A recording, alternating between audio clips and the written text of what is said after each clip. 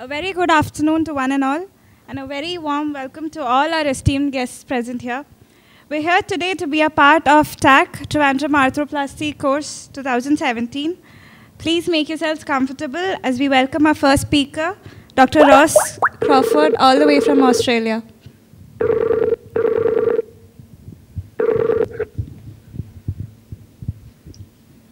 Hey, Peter.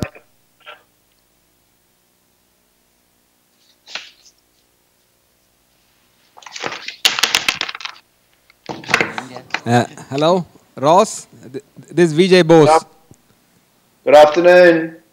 Hi. Uh, you can hear us? Vijay Bose, I yeah. can- Yeah, can you hear me? Can hear you very well, Ross. Yeah. Perfect. Is that VJ? Yeah, it, it's Vijay. Yeah. Hey, how are you? I can't see you, so I had to guess. So I picked your dulcet tones. Yeah. You you look good, Ross. Yeah, we're, ready to kick off. Yeah. So tell me the plan.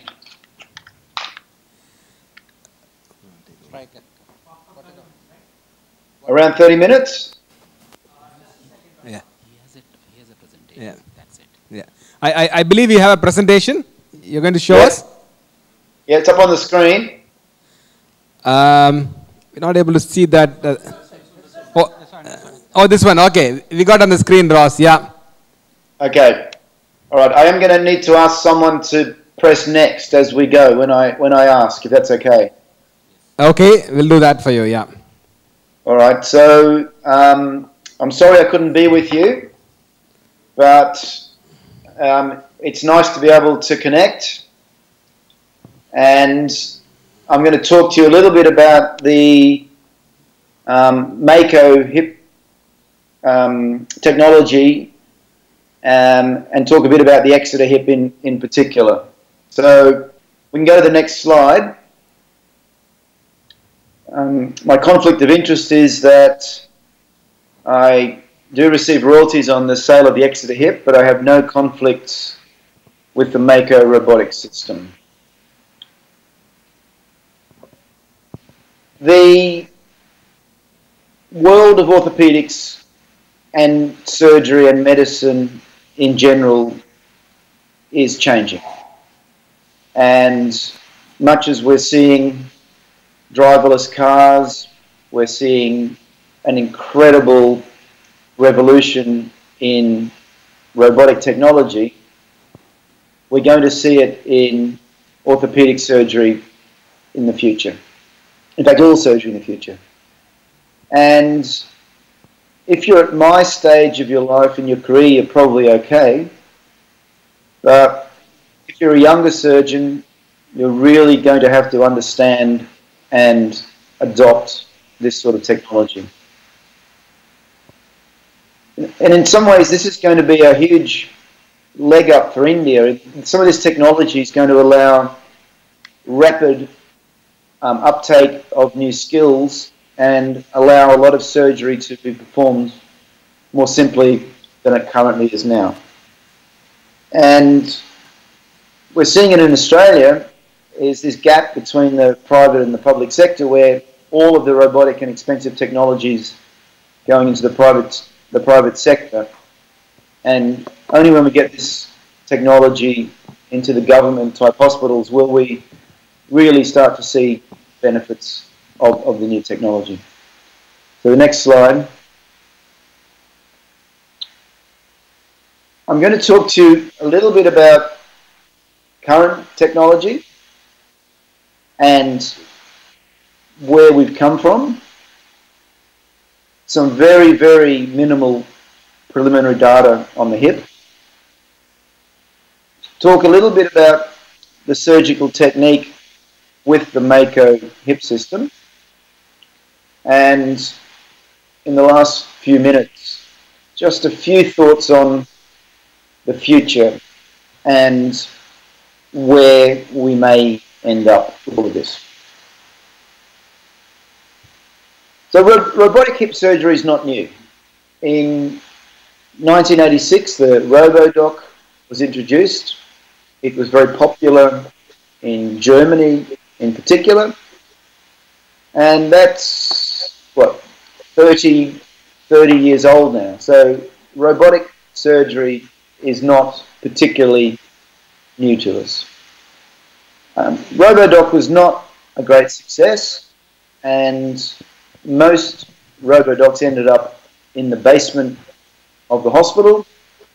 And the big advantage was that the hospital could say that they owned a robotic hip system. And if you look at the next slide, a lot of words, and I'll let you read it. But essentially, the surgery was really not a great success. It probably wasn't true robotic surgery, and the Da Vinci system is certainly not robotic surgery. And there's some argument that the Mako is only a little bit robotic if we actually think about what's truly robotic or autonomous. But you can see it's been a evolution from a um, technology that really didn't do much to, to what we have today. So next. If you go to a major meeting like the American Academy or you go to any of the big meetings now, people don't talk about implants very much. The, the implant market is very mature. We're not seeing radical new hip or knee replacements. We're seeing little changes around the edges, but the next big step is not going to be implants. People are talking about two things in particular approaches, and we won't go there today, but we're hearing about direct anterior, direct superior, SPAIRE approach, the, the, all these different ways of approaching the hip. And we're hearing about robotics. And we're hearing about different alignment techniques, different ways of more accurately placing uh, hip replacements. Around Mako's not new. It's been around for many years. It was a US company based out of Florida. And about three years ago, Stryker bet 1.3 billion US dollars, which is a lot of crore rupees, on the Mako technology. They actually bought 270 patents that Mako owned, and they have a robot system that in a few years we'll look back at and say was pretty um, clunky, was, uh, and this will not look like what robotics look in the future. But at the moment, it's the state of the art, and it is a really good and interesting technology.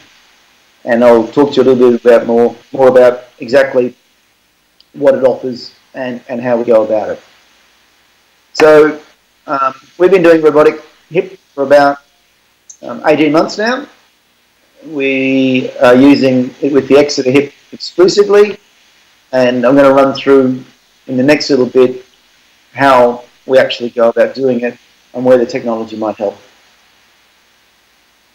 So next slide. Now, the whole Lewinnek safe zone is made up. There's, it's a really bad paper. It doesn't necessarily mean it's a safe zone. But what this slide does show is surgeons can't put their acetabular components where they want to. Um, they have problems with leg length, they have problems with offset, they have problems particularly with cup version and um, inclination. And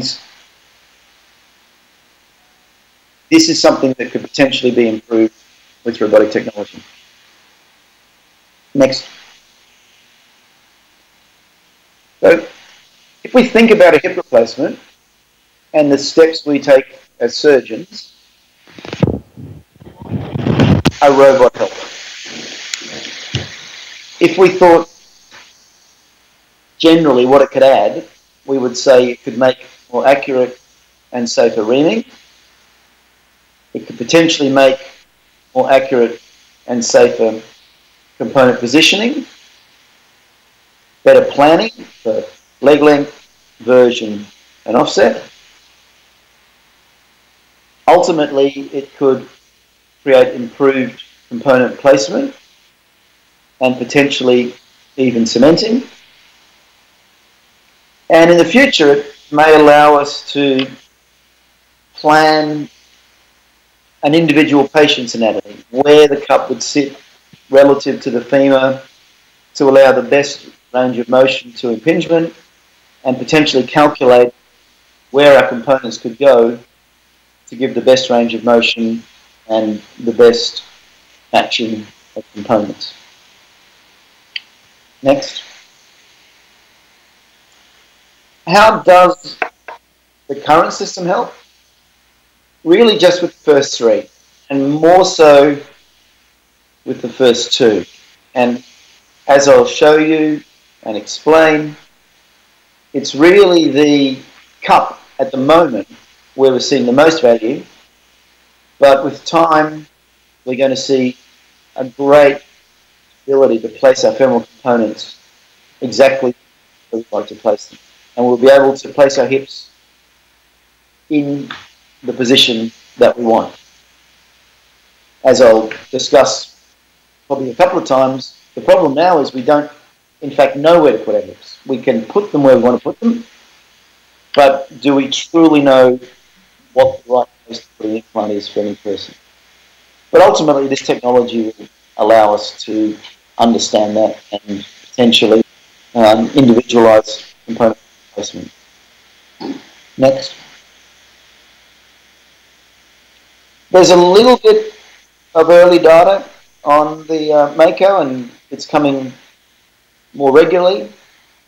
But essentially what it shows is you can put your cup where you want to put your cup. The blue dots outside this black square are not misplaced components. That's actually where the surgeon decided they want to place their component.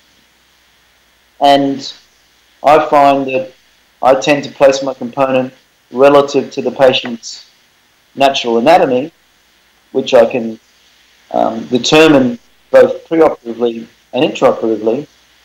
And so you can, as I said to you before, you can put it where you want to put it, but are we putting it exactly where it should be put? And again, only time will tell. Next. And next button. So these say pretty much the same thing. That essentially using a robot allows you to put your cup where you want to put your cup. If you just press the button a couple of times, you'll see a few more bits of data. Next. Next. So, how does it work? Um, I know that most of you now don't have access to robotic technology, but I believe that the first systems have been introduced into India, and I think, given my understanding of how the Indian orthopedic climate works, that will become a relatively um, widespread technology in the next five to ten years. So if you look at the next slide, there's a, a little flow that I'll give you a broad introduction to, and then we'll come back and look at each piece in a bit more detail. The, the key is the planning, and the planning is where we determine component positioning, where we understand the system. It's based on a patient's CT, the patient's own anatomy, and much of it's done by the company representatives, but ultimately it's done by the surgeon. There are landmarks placed in the femur and the acetabulum or the pelvis.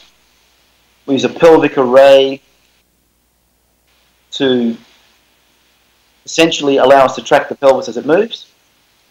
There's a series of digitization points to map the acetabulum to the CT scan.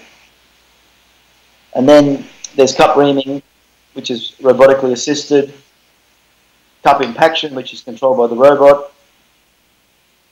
And then the femoral preparation and reduction is at the moment still more in the hands of the surgeon than the robot itself. If we go to the next slide, you can see that the first thing we do is to create a plan. The patient has a CT scan that's sent to a specialist who produces a 3D model of the pelvis and the femur, and that model then allows us to execute some preoperative planning. Next. There's a little bit of work to be done on plan creation, but essentially the um, specialists use CT marks to plan for offset and for leg length. And using these points, they then generate uh, a prosthesis that fits the acetabulum and the femur. And you'll see on the next slide, we can use this X-ray view, which allows us to, to manipulate the, the data much like we did with our own X-rays, to then um, create our plan. So the next slide shows you the acetabular plan.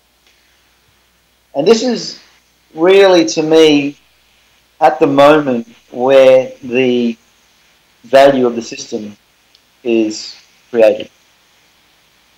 You can see on your right, there's a, this cup is inclined at 40 degrees and it's anteverted at 20 degrees. And you can set that as your default position if you wish, which means the plan will come to you in a with the cup always at that position on your um, the first time you have a look at your component positioning.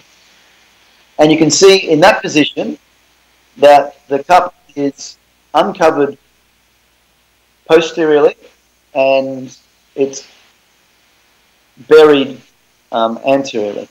Oh, sorry, that's the other way around. So what I would do here is I would change the version, take some anteversion out of the cup to make it fit the patient's natural anatomy. And on the top left, the cup is probably a little bit lateralized and you may choose to slightly medialize this cup in your plan. What I did for my first 20 cases was deliberately undersize the cup and leave it a little bit lateral to where I thought it was going to go so that I learned to trust the system because it won't let you ream outside that green envelope. Once you get beyond that point, it will turn you off. So your junior doctor, your learning surgeon will never go through the medial wall, will never take out the anterior or posterior wall, and can never put the cup anywhere except where it's been planned. And this will be interesting because I, I think in some of the high volume centres, you could see that a very experienced hip surgeon may plan the operation and then allow others to execute the operation, knowing the robot will only allow you to execute it exactly as that planning surgeon has said. The pink dot is the center of rotation, and that locks your reamer and only lets you ream around that center of rotation. So you create a perfect hemisphere as you ream. So that, that's your cup planning on that, that view. The next view shows you, you can spin around and look at here we see, as I said, the cup is a bit uncovered, so you might take a bit of anteversion out to try and get it covered. And you can just swing this around in real time to see exactly where you want to put your acetabular component. And you can see on the bottom we've taken 5 degrees of version out of the system to put the cup exactly how it fits the anatomy. Next. It's still a bit of work to do, but ultimately we'll be able to plan in complex cases to hopefully go to a single ream that will allow us to prepare an acetabulum, even in a really complex case such as this, very, very safely without that fear of knowing exactly where you are. Rather than in these cases where you've got to find the true floor, find the fat in the fovea, get under the transverse ligament, you'll be able to digitize the pelvis, place a reamer, and go bam, with a single ream, to cup in exactly the right position. So it's going to make us much better surgeons, particularly in difficult cases. Next. The femur is still not as well sorted as the acetabulum. That will come with time. But you can see the femoral version is the native version of the femoral neck. And this component positioning that we've determined has showed us that we will, how we will lengthen our hip, how we'll change the offset of the hip compared to the pre-op and the post-op hip. And this is a very nice way of ultimately being able to plan and template our hips to produce a perfect reconstruction of the anatomy. So this is another planning step. It's done before we went into the operating theatre. Next. And then there's a series of views you can get that allow you to, to look at what you'd end up with once you've done it. This this view um, shows you a cartoon form, how your hip would look compared to um, the other hip and how it would look compared to the, the same hip once the implants were placed we you planned to place them. Next. And this X-ray view allows you to um, look at how your components would look if they were placed where you plan to place them. And again, allow you to decide exactly how they should look. Next. You can use any approach with the robot. There are um, different algorithms to digitize the socket for both the posterolateral and up subsequently you know, direct superior, SPAIRE, any direct anterior, anterolateral, or the um, anterior approach as well. And many of the anterior surgeons who use very small incisions and are using uh, fluoroscopy are finding this is an amazing change to their technique because they can get rid of the fluoroscope and with a single ream um, prepare the acetabulum much more safely than multiple passes with reamers and fluoroscopy. Next.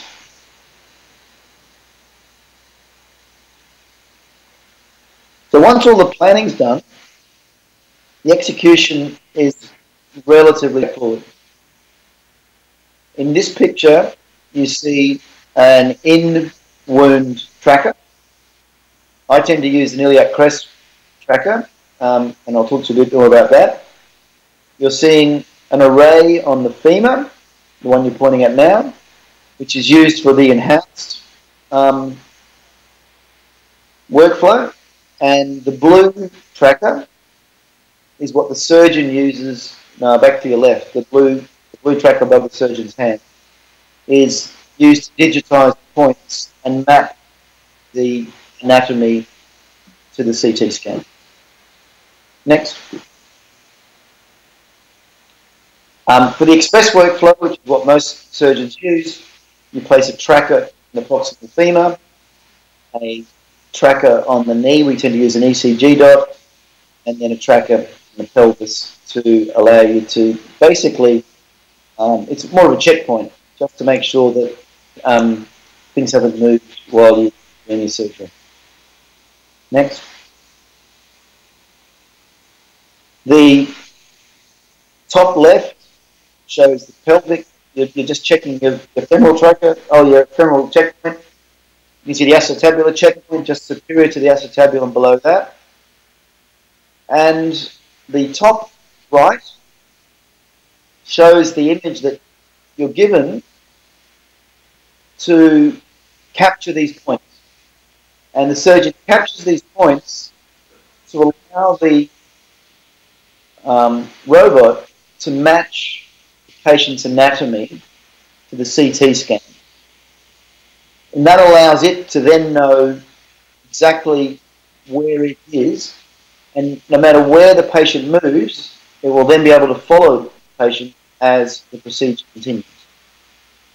Following the digitization at the top, once that's completed, you will see a picture as you see on the bottom right, where you have a series of green dots and blue bubbles. And the green dots show that you've done a good job with your data capture. And then you go ahead and cap blue dots again to validate your um, digitization. Once that's completed, you now have the patient's anatomy digitized and you're ready to go to the next step. And uh,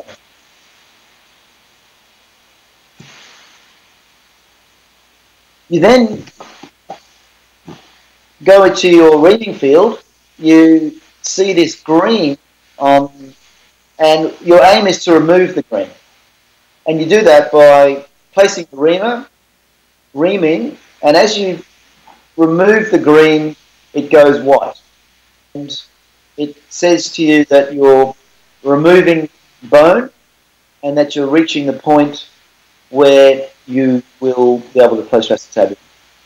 Next slide shows you the reamer that is guided by the robot. It allows you to move in an arc of about 5 to 10 degrees, but it captures your center of rotation, which means you're reaming incredibly accurately. And it is very noticeable how much more solid the cup placement is when you ream with the robotic arm rather than reaming um, with reaming freehand. The next slide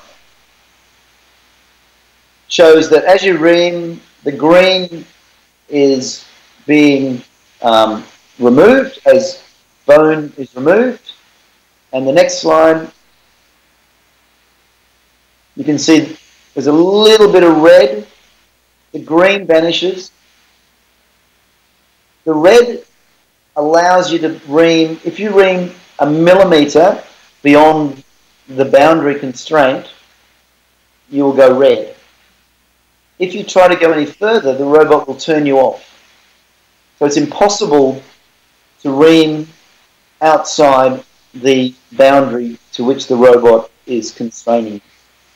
So you could give your reamer to the house officer, to the most junior surgeon, ask them to ream a socket, and you could sit back and relax because you know they cannot get it wrong. Possible to ream outside the plant you've created. Next. It's just a picture of the reaming. Next. And then the surgeon impacts the acetabular component. What you do is you put the cup on the robotic arm, you put the cup into the surgical field, you press a button, and the robot captures the cup, and it only allows you to place the cup exactly where you plan to place it. If you plan 4515, it will place the cup at 4515. It cannot go anywhere but that. Next. And the surgeon is hitting, but really the robot's in control.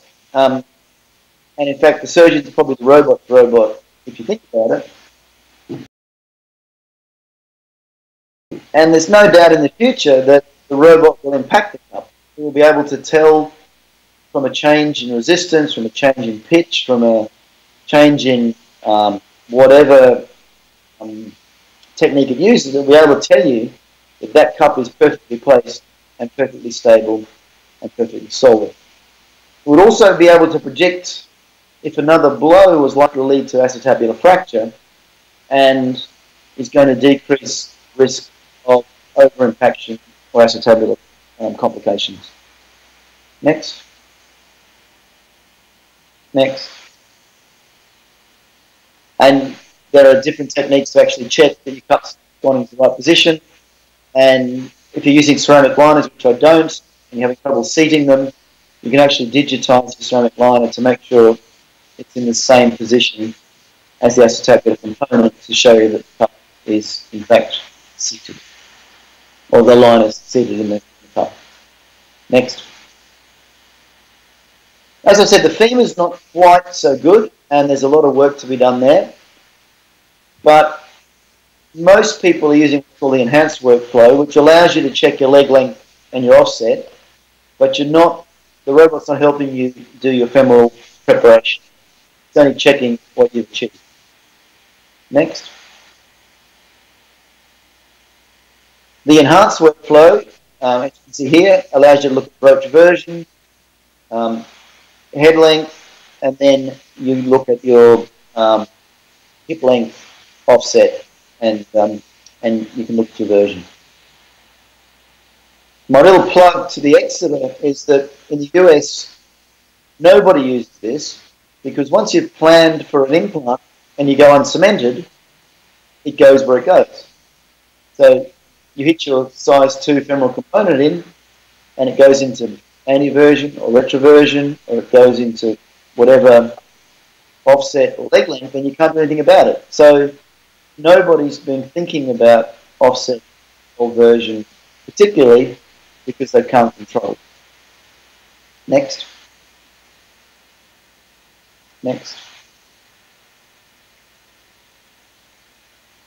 And um, again, this shows you what you get with the enhanced system. You get your cup inclination and version at the top. You can get combined version and, and broach version. Again, I don't think we know what the true range of combined version should be, but you can achieve what you want to achieve, particularly if you use the cemented stem. Next. So, why would Exeter, which is 47 years old this year, be the perfect hip to use with the robot? What is the advantage that we um, we're seeing. And it, it's interesting that the engineers were in the US who hadn't been exposed to this actually went, this is the stem that in a way has been designed for robotic. The reason being, if you go to the next slide, is that what you do with the Exeter and any cemented polished stem is you create a volume of cement. You, you fill the proximal femur with cement. You then put your stem of chosen version in any position up or down to determine leg length, and you can control your version. So you're not dictated by the anatomy of the femur. You can put the stem exactly where you want to put it.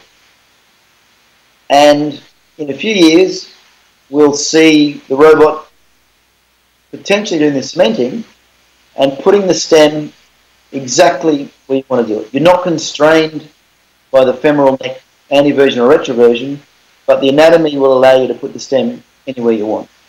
Next. Um, many of you are probably familiar with the Exeter. It has a offset from 30 millimeters through to 56 millimeters. And you can preoperatively choose your offset. So once you've templated, the robot has helped you choose your offset, you're not going to change that intraoperatively. You'll put your stem up or down where you want to put it to get your leg length, and you'll put it in whatever version you want to get your anteversion. Next. And just an example to show you that the anatomy of the proximal femur does not necessarily dictate where you're going to put a cemented stem. You could not do this with a cementless system, and you're able to create this window, cut your neck where you want to cut it, put your choose your offset, and put your stem where you want to put it. Next. So that's where we're at now. We will look back on the first generation Mako in 10 years and we'll think it was pretty primitive. Much like we look back on the early iPhone, we look back on an early desktop, we look back on um, the Apollo missions, which have less computing power than your iPhone. But this is the start. This is the start of the future, and if we don't get on board, we're going to be left behind. In the next generation, we'll have autonomous registration, where the robot will register the bone for us, probably much, much quicker than we can. It will ream independently, and it will do cut placement independently, where all the surgeon may do is expose the hip and sit back, and the robot will take over. It will ultimately do cement insertion, and for a cemented hip, it could do stem insertion. We'll probably see the RoboDoc concept come back, and the robot will burr the femur to accept an uncemented stem, and then insert the uncemented stem in the envelope created by that burr.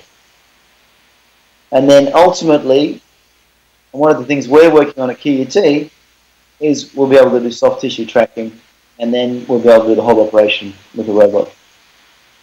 Next. So just to highlight that um, this is what we see now, but the, the planning, the reaming, the, the removal of bone, the, the, the whole operation could ultimately be done completely by the robot on the bony part of the work. Next.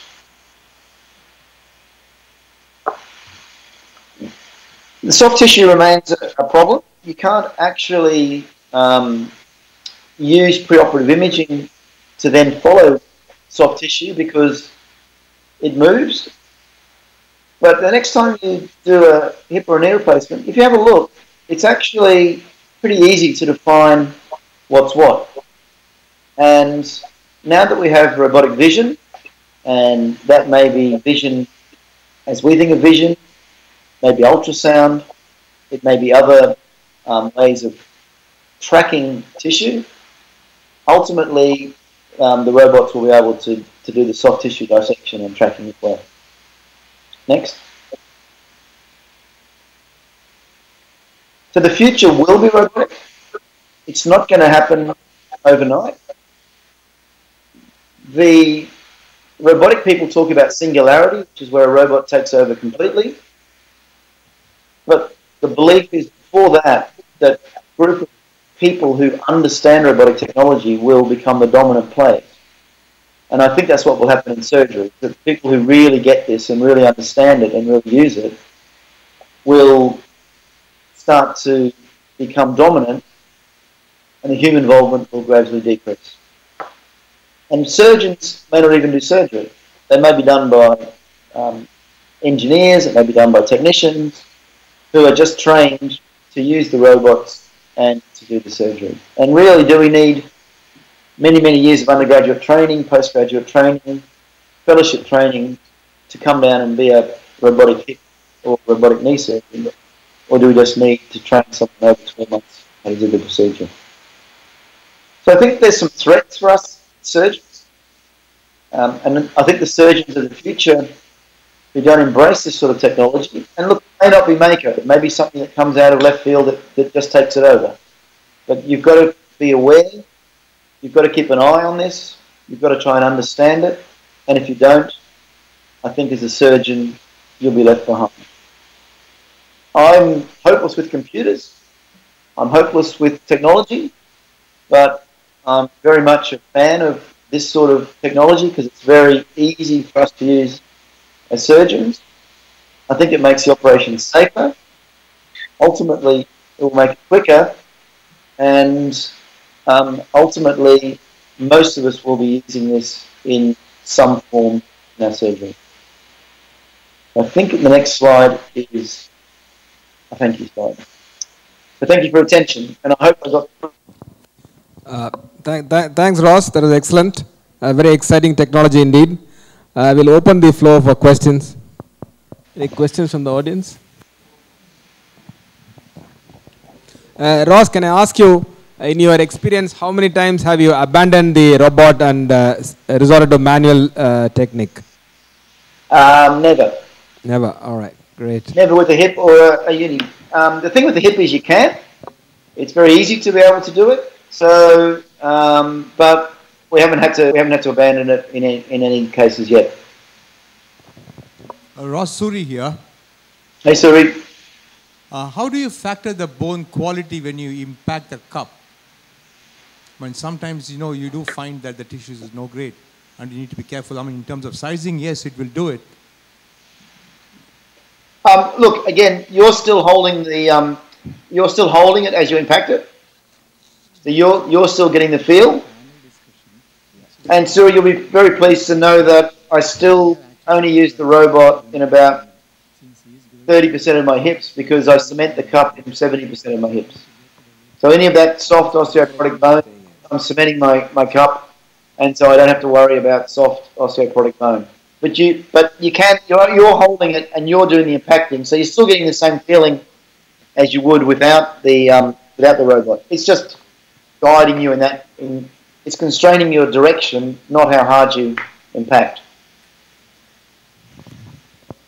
Any, any other? What, what are you drinking there, Ross? White wine? South Australian white wine? Uh, no, that's a that's a little um, a water with a little dash of white wine. Yes. No, we are, no, we are in the dry state of Kerala. That's why we are envying you. Oh, sorry.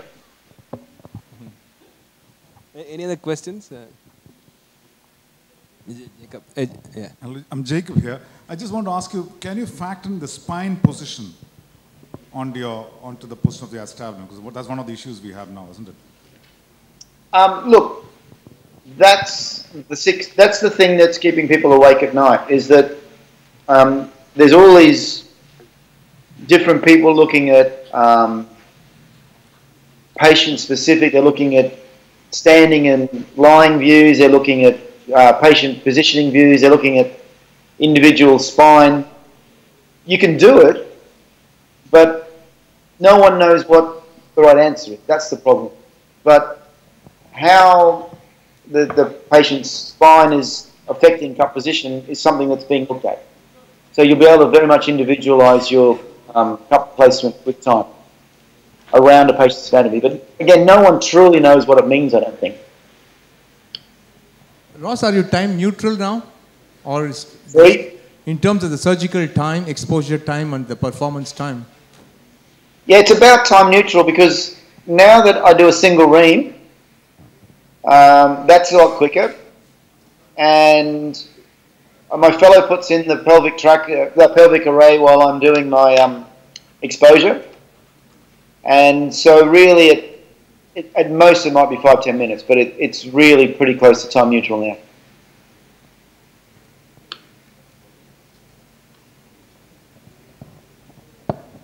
The pelvis is a very dynamic move, moving target. How will you uh, get that into your system? once you once you digitize the pelvis and you could put the patient upside down on the floor and the robot knows where the pelvis is. So one of the um, you're very right that when we're doing a conventional hip once we put in a um, anterior retractor for example the pelvis might come forward.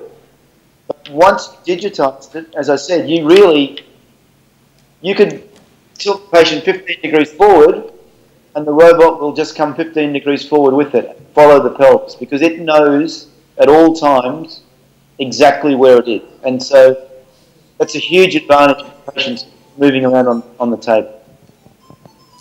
Secondly, uh, we, uh, we know that these the safe positions are required to reduce the wear, to give a better function. I do agree totally. But we are all uh, talking on everything is on static alignment.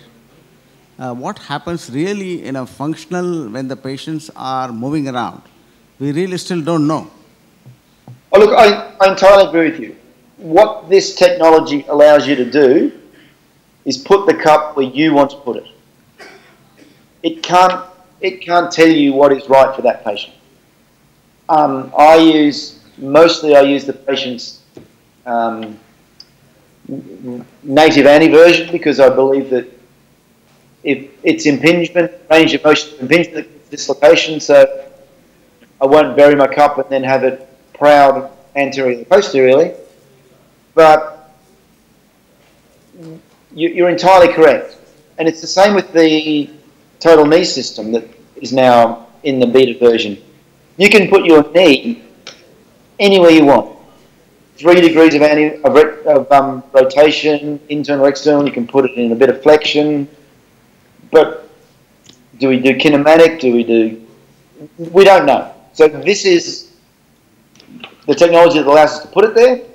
And what will happen is once we get this data capture, ultimately we'll be able to follow all the cases and we'll learn with time, I think, what is the right position. But, but you're right, it's opened up a whole new can of worms. But what it does do is let you put it where you think you should put it.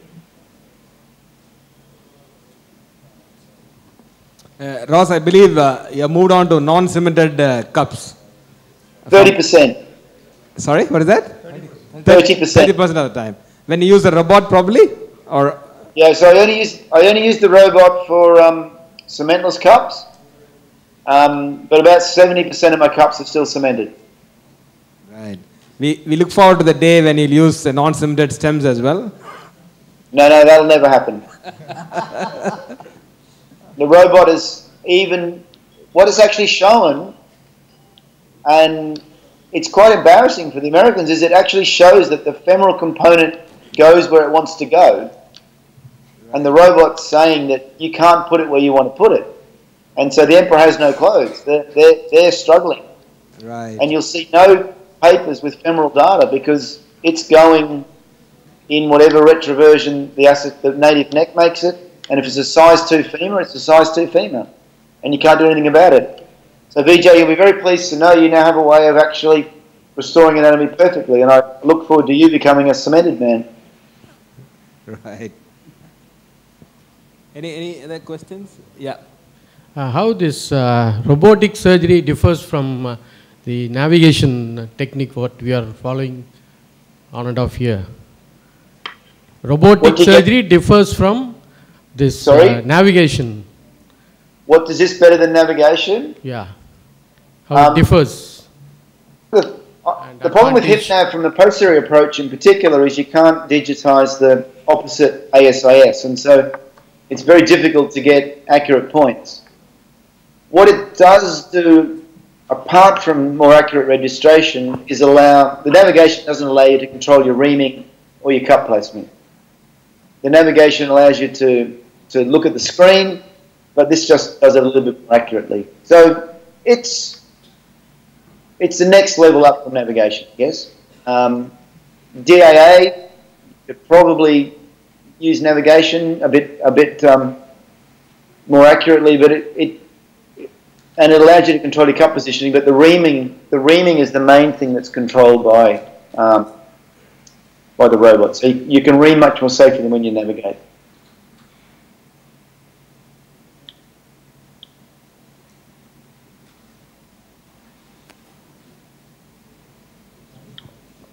Uh, I think uh, that's all from here, Ross. It was a great experience for us uh, to get a. Oops, is he still there? Yeah, yep, still here. Yeah, so it was a great uh, talk and a great um, sort of introduction to robotic for all of us here. Thanks very much. for staying up uh, late. What time is it in Sydney now?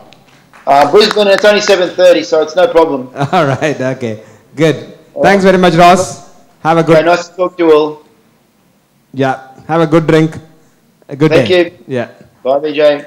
Bye. Bye then. Right. Thanks very much.